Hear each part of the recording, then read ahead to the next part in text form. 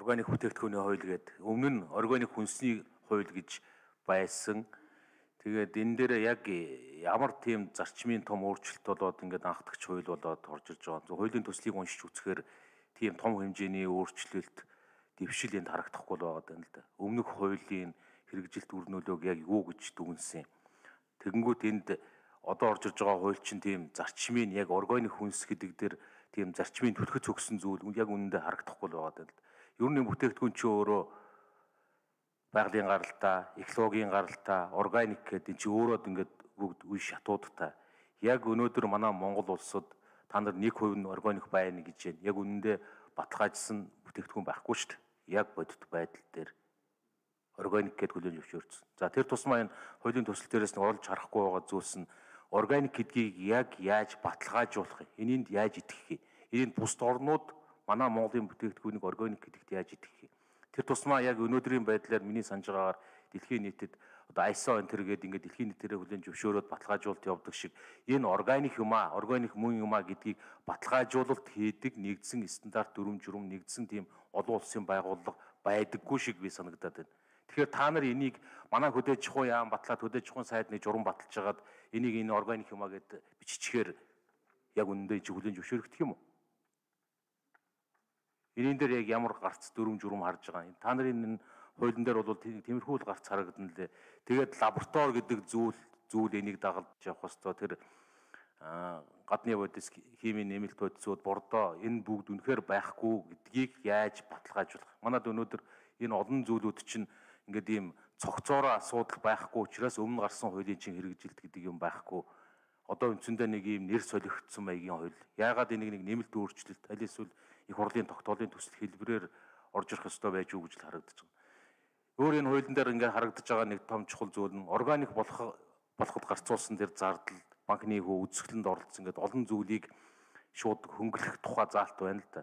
Одоо би жишээ нь энэ салбарыг бас тодорхой хэмжээнд гадарладаг хүний хувьд дахиад энэ төрийн бодлого шийдвэрийн үүднээс харсан ч гэсэн ийм урамшуулал олон зүйлүүдийг үр дүнтэй нь холбож үнэхээр органик болоод зах зээлд гараад борлуулалт хийсэн бол бүтээгдэхүүн борлуулсан бол тэрнээс бүтээгдэхүүн борлуулаагүй баахан органик болохын төлөө би ийм үцгэлэнд оролцсон баахан ийм банкны хүү авсан ийм хөрөнгө оруулалт хийсэн.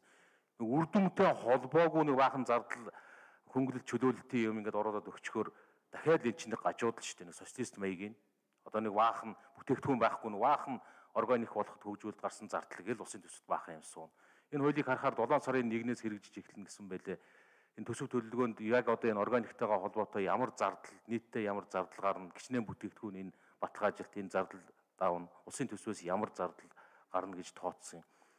Энэ бүгдийг харахаар би одоо энэ хуулийг хууль хоёр гараараа гараа өргөө дэмжих ёстой хүн ч гэсэн яг ингээ боловсруулалтын төвшин олон зүйлийг харахаар надад бол зөв өмнөх хууль дээр зарим зүйл дээр нэмэлт өөрчлөлт оруулаад л ингээд сайжруулалт хийн үз. Яг үнэндээ акц дэвшлийн тийм зүйл залтууд гарах нь харагдаад. Тэгээ саяны зүйлүүд төр хамгийн гол нь тэр баталгаажуулалтыг яг яаж хийх гэж байгаа. Монголын бүтээгдэхүүн энэ органик гэдгийг бусад орн яаж хүлээн зөвшөөрөх юм. Манай нэг сайдын гаргасан журмаар энэ органик юм а гэдээ хамт арчхаар би тэрийг чинь бусад орн чинь хүлээн зөвшөөрөхгүй байхад ч бодож байна. За ундрам шүү. Зөв санаач хариулъя.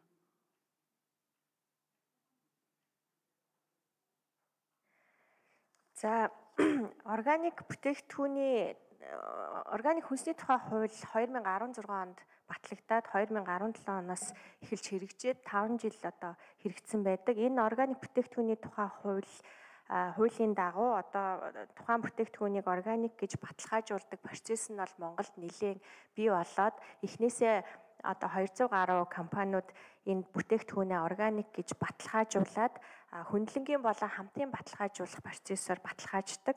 Тэгээд одоо зах зээлд органик бүтээгдэхүүнээ нийлүүлээд ингээд тодорхой хэмжээнд бол тогтцсон байгаа. За энэ хуулийн төслийн 3 дугаар бүлгийг та харах юм бол органик бүтээгдэхүүний баталгаажуулалт, шошиглолт, бүртгэл гэсэн ийм хэсэг байгаа. За энэ олон улсад бол органик бүтээгдэхүүнийг баталгаажуулдаг тийм тогтсон процесс байдаг. Яг энэ процесстэй адилхан Монголд хөндлөгийн хөндлөнгийн болон хамтын баталгаажуулалтнууд бол хийгдээд явж байгаа. А одоо энийг бол бид нар бүтээгдэхүүн гэж өргөжүүлж байгаа. Энэ нь ганцхан хүнсний биш одоо дагалдах одоо жишээлбэл мал дээр ярихад малын аль шир ноос ноолуур гэд.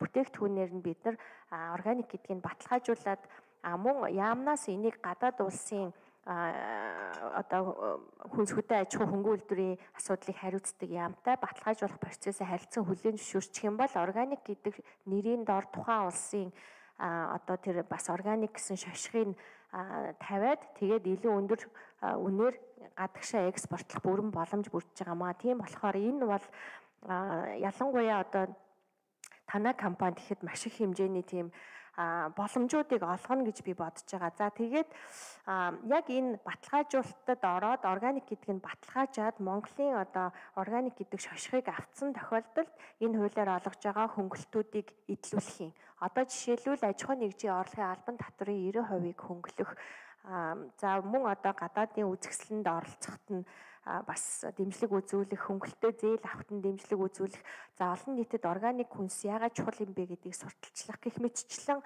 олон одоо дэмжлэгүүдийг баталгаажсны дараа болов уг нь а мэдээж баталгаажигээд хүсэлтээ гаргаад ир баталгаажих процессын зардлыг бол тодорхой хэмжээнд улсаас энийг хариуцъя гэж байгаа. Ягаад гэвэл малчид маань одоо жишээлбэл мал аж ахуйгаа органик гэдгийг баталгаажуулах тэр асуудал бол маш хүндрэлтэй байдаг учраас бид нар энэ хэмжээний дэмжлэгийг эхний ээлжинд өгье гэж байгаа. Тэгээ хамгийн одоо зах зээлд бүрэн шилжсэн капиталист орнууд органикт яг манайх шиг ийм тусламж дэмжлэгийг өгөөд явд юм бэлээ. Жишээлбэл одоо холбооны бүгд найрамдах Герман улс байна, Америк байна гэд энэ зах зээл рүү айл ирж шилжсэн улс орнууд ч органик гэдэг хүний эрүүл мэндэд хүнсний аюулгүй байдалд эдийн засагт болон байгаль орчинд ямар чухал юм бэ гэдгийг мэдээд органик бүтээгдэхүүн үйлдвэрлэх ямар хэцүү байдаг юм бэ гэдгийг ямар өндөр өртөгтэй байд юм бэ гэдгийг мэддэг учраас ингэж бодлогын дэмжлэгүүдийг өгдөг учраас бид нар яг тэр жишгийн дагуу мэдээж бүр яг одоо герман шиг тийм их дэмжлэг үзүүлж чадахгүй байгаа ч гэсэн тодорхой хэмжээгээр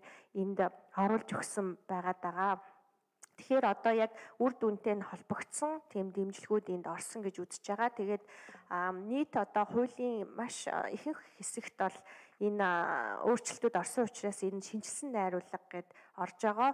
За мэдээж хууль 5 жил хэрэгжсэн учраас бид нар хуулийн хэрэгжилтэн дүн шинжилгээ хийгээд өмнөх хууль маань мэдээж органик бүтээгдэхүүнийг бид нар өөрсдөө үйлдвэрлэдэг болох анхны алхмыг бол бий болгосон ч гэсэн илүү тунхагийн тийм шин чанартай байгаа учраас бид нар бодит дэмжлэгийг энэ хуулиар олгох ёстой байна гэдэг ийм дүгнэлт гарсны үндсэн дээр хуулиа боловсруулад одоо нэгдсэн үндэсний байгууллагын дэмжлэгтэйгээр олон хилцүүлгүүдийг хийгээд өргөн барьсан байгаа. За 86 ойрон доо. Юм уучлаарай. Аа за. За гишүүний асуултанд өмнөх хуулиас энэ хууль маань одоо ялгаа гэдэг энэ хамгийн гол зарчмын ялгаа нь бол энэ хамрах хүрээнд зөвхөн хүнс хамрагдчихсан бол одоо бусад хөдөө аж ахуйн гаралтай бүтээгдэхүүнүүд хамрагдах боломжтой болсон. Тэгэхээр иймэрхүү одоо Монгол улсыг ер нь гадна талдаа ч гэсэн харьцангуй бол органик органик гэдэг маань юу гэсэн үг юм гэхээр ер нь бол байгаль амьд байгалийн гаралтай гэсэн олон улсын үгнээс гаралтай олон улсад энэ нэр томьёог ашиглаж байгаа Монгол улс ч гэсэн ийм нэр томьёог ашиглаж байгаа. За тийм учраас одоо энэ хамрах хүрээ нь нөгөө талаасаа бас нөгөө органик үйлдвэрлэлийг одоо хүмүүс ойлгоод ер нь хэрэглээ бий болсон зах зээл дээр бий болсон энийг авъя гэсэн хүмүүс бий болсон харин үйлдвэрлэгч талаас их хомс байгаад байдаг ганцхан хувь байгаад байдаг тийм учраас энийг ингээд дэмжиж өгөхгүй болвол энийг ийм үйлдвэрлэл эрхлэнэ гэдэг нь өөрөө цаана байгаль орчин дээлтэй эдийн засгийн ач холбогдолтой хүний эрүүл мэндэд ач холбогдолтой гэдгийг бол биднес бүгдээр мэдж байгаа учраас энэ үйлдвэрлэлийн түвшинд энийг дэмжиж өгөхгүй бол энэ рүүгээ үйлдвэрлэгчд маань орж өгөхгүй. Тийм учраас шинэ хуулийн хувьд энийг одоо сургахмаар байна, сургалтын зарлууд ормоор байна. Одоо бас баталгаажуулах зардал нь хэрэгтэй байна. А тэгээ энэ баталгаажуулалтын хувьд бол та яг гоё асуулт асууж байгаа нь Монгол улс баталгаажуулалт тохирлын үнэлгээний чиглэлээр яг олон улсын бүх зарчмын дагуу мундаг хуультай. Яг ажрын ийм зарчмын дагуу тэгэхээр Монгол улсад энэ хуулийн дагуу баталгаажуулалтын байгууллагууд нь бий болсон. Тэгэхээр мянга баталгаажуулалтын байгууллага бий боллоо гэхэд үйлдвэрлэгчид өөрсдөө дэмжигдэж орж ирэхгүй болохоор энэ баталгаажуулалт бол сул явагдаж байгаа. Тийм болохоор энэ хууль гарч ирснээр бол одоо баталгаажуулалт нь одоо илүү эрчимтэй болно. Яг л баталгаажуулалт Гэхдээ одоо хүмүүс та нар харж байгаа бол өөрийнхөө бүтээгдэхүүнийг би бол органик юм үйлдвэрлэдэг, иддэг, хэргэлдэг гэж ярьж байгаа боловч хин энийг нотолцсон бэ гэдэг асуудал байгаа. Тэгэхээр аль бие усны баталгаажуулдаг ийм байгууллагуудын талаар одоохондоо мэдлэг сул байна. А тэгээ явандаа энэ бол одоо цаашдаа бий болоод явчихна. Тэгээд өөр нэг хэлэх зүйл нь юу вэ гэхээр Монгол улсын одоо органик гэдгийг одоо Монгол улсынхаа хууль тогтоомжийн хүрээнд баталгаажуулсан бүтээгдэхүүнүүд гадагшаа гарахаар танах яхаараа танахыг одоо зөвшөөрн зөвшөөрөхгүй хүлэн зөвшөөрнө гэдэг асуудлууд маш их гардаг учраас нэгдсэн үндэсний байгууллагын одоо дэмжлэгтээр хүнсгүүд аж ахуйн яамнаас одоо Монгол улсын органик гэдэг ингээд тавьсан байгаа шаардлагууд олон улсын түвшинд ижил түвшинд одоо ойлгогдож хүлэн зөвшөөрж байгаа. Баталгаажуулалтын байгууллагууд нь ижил түвшинд үйл ажиллагаагаа явуулж гин гэдэг хүлэн зөвшөөрлийн үйл ажиллагаанууд явагдаад магадгүй энэ жилдээ багтаагаад биднээс Монголын органик бүтээгдэхүүнүүдийг одоо гадна талдаа ойлгуулах хүлэн зөвшөөрлөх ийм нөхцөл өөрөө бүрдсэн байж байгаа. Тэгэхээр өмнөх хуулийн дээр бол энэ зохицуулт нь сайн тавигдаг байсан. Одоо шинэ хуулийн дээр бол яаманд энэ эрхийг нөхцөн байгаа тий. Тэгэхээр гол одоо түншлэгч, импортлогч Монгол улсаас импортлогч улс орнуудтай гэрээ хэлцээр байгуулах эрхийг өгдөг тий.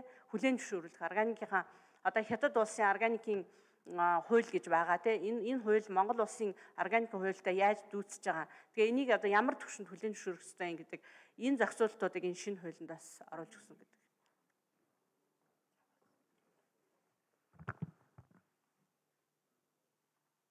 Одоо гомбилдогийн мөх цэцэг шүү асуулт.